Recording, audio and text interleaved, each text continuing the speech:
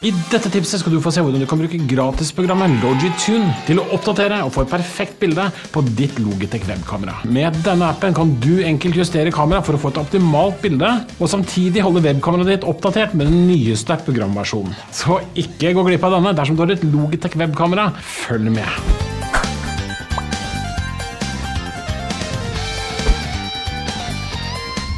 Hei og velkommen til et nytt fredagstips. I dette tipset skal du få se hvordan du bruker gratisprogrammet Logitune fra Logitech til å få det beste bildet fra ditt webkamera. Og ikke minst hold det oppdatert slik at det fungerer best mulig sammen med Teams eller Zoom. Programmet fungerer også på annet Logitech-utstyr, som f.eks.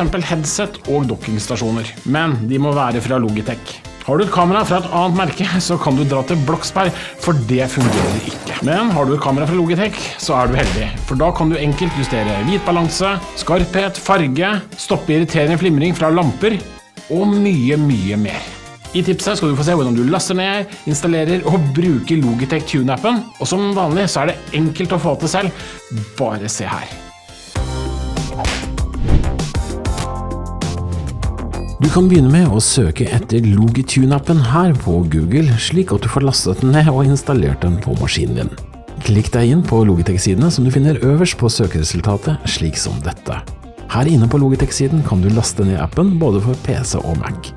Det kan være verdt å nevne at Logitune også kan oppdatere headset og den nye Logidoc i tillegg til webkameraet ditt. Så lenge det er fra Logitech, da.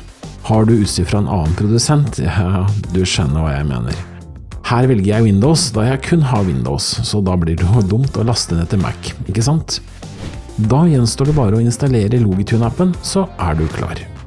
Du kan bare klikke på filen du lastet ned, og klikke deg videre slik som dette.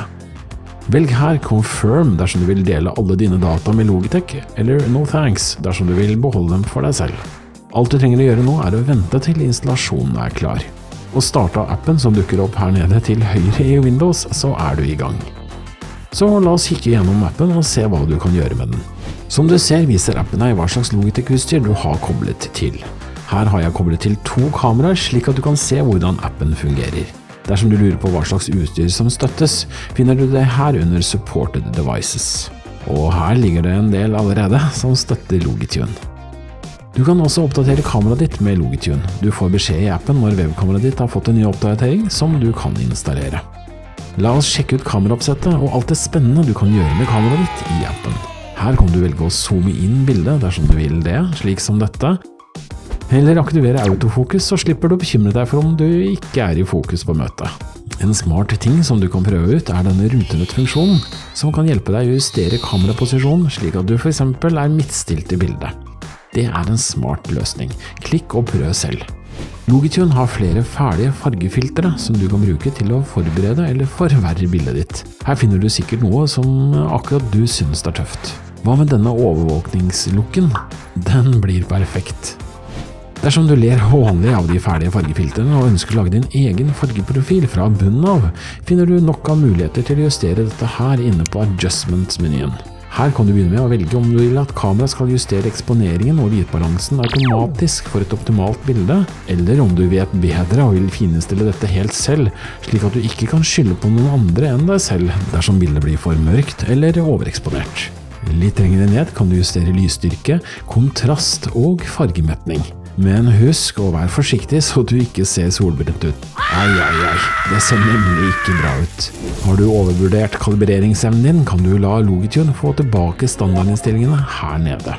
Her under settingsfanen finner du andre nyttige funksjoner som du kan bruke. Klikk deg inn på About the Camera her til høyre. Her kan du få mer informasjon om kameraet ditt, og oppdatere det, eller tilbakestille kameraet til fabrikkinnstillinger dersom du har havnet i trøbbel. En annen viktig funksjon er anti-flicker-funksjonen, som lar deg velge mellom 50 Hz eller 60 Hz. Og det er denne innstillingen du skal teste dersom du opplever at du har irriterende flimring fra lys i rommet der du sitter. Her hjelper det som oftest å velge 50 Hz som standard, avslutt med save når du er klar. Husk at Logitune-appen er helt gratis, og har også andre smarte funksjoner som du kan prøve deg på. Hva med denne, der du kan knytte opp kalenderen med appen, som da kan minne deg på møter du skal ha i løpet av dagen? Smart, ikke sant?